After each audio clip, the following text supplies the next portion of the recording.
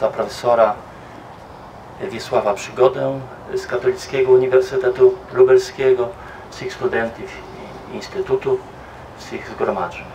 20 вересня в теологічному інституті святого Йосипа Більчевського в Брюховичах відбувся інавгураційний симпозіум Отець Павло Генрик Мосінг, науковець і душпастер, присвячений 25-й річниці з дня його смерті.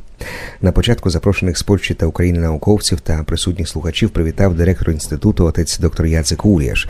Зокрема, привітав присутніх єпископів Львівського митрополита Мічеслава Мокшицького, єпископа Віталія Скомаровського, голову конференції єпископів України, єпископа Мар'яна Бучка та єпископа Едварда Каву. Зі словом до присутніх звернувся директор науково-дослідного інституту епідеміології та гігієни професор Борис Кузьмінов, який пригадав сторінки наукового життя видатного епідеміолога ХХ століття отця Генріха Мосінга.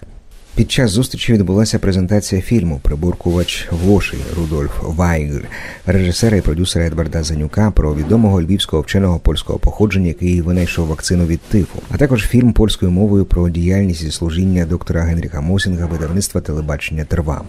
В рамках події відбулася презентація рефератів, присвячених здобуткам Генріка Мосінга як медика і його впливу на життя католиків, змушених йти в підпілля через переслідування режимом комуністів. На завершення львівський митрополит подякував всім лекторам та учасникам за активну участь та вшанування пам'яті святого священника. Духа Амінь. наш брат отець Генрик Мосінг спочив у мирі з Христом, з вірою і надією на вічне життя, віддаємо Його Божому милосердю. Він через хрещення став названим Дітям Божим та через приколоження звершував Євхаристійну жертву. Благаймо Господа, щоб тепер Він покликав отця Генрика на небесну трапезу дітей Божих і вчинив його разом зі святими спадкоємцем обіцяної вічної нагороди. Сумуючи, молимося до Бога також за нас, щоб ми разом з нашим братом могли вийти на зустріч Хрис- Христові, коли Він наше життя об'явиться в славі. Нехай ця надія пронизує наші думки та молитви. Відбулося 114 років від дня народження і 25 років від дня смерті людина, яка все своє життя присвятила іншим людям.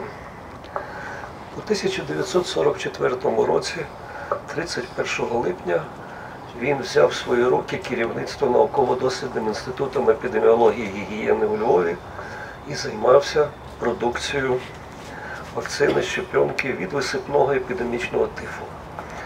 Завжди на своїх лекціях я розповідаю для того, щоб було зрозуміло для всіх нас, а що саме за хвороба висипний епідемічний тиф. Ми пережили майже 4 роки пандемії ковіду. Якщо за станом на сьогодні від ковіду життя пішло біля 7,5 мільйонів людей, то від висипного епідемічного тифу в місяць іноді гинуло більше десятка мільйонів людей. Це був фактично вирок смертельний, якщо людина хворіла е, ковідом. Безумовно, працювати з і хворими, і з щепенками було дуже важко. І він віддав повністю своє життя для того, щоб і випускати цю вакцину, і лікувати людей, і допомагати при розслідуванні спалахів епідемії. Молода людина, яка в 1937 році, після закінчення медичного університету імені Яна Казіміша, е, почала щепити у Польщі людей щепенкою всесвітньо відомого професора Рудольфа Вайгля.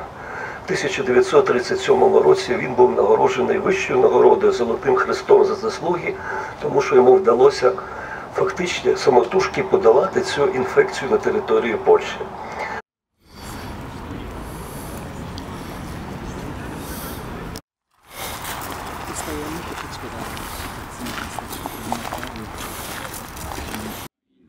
Ангел Господній благовістив Діві Марії. і зачала вона Духа Святого. Радуйся, Марія, благодаті повна, Господь з тобою, благословенна ти між жінками і благословенний плід лона Твого Ісус. Свята Марія, Мати Божа, молись за нас грішних, нині і в годину смерті нашої. Амінь. Нехай їм світить вічне спочивання, дай їм, Господи, а світло віковічне, нехай світить вічне спочивання, дай їм, Господи, а світло віковічне.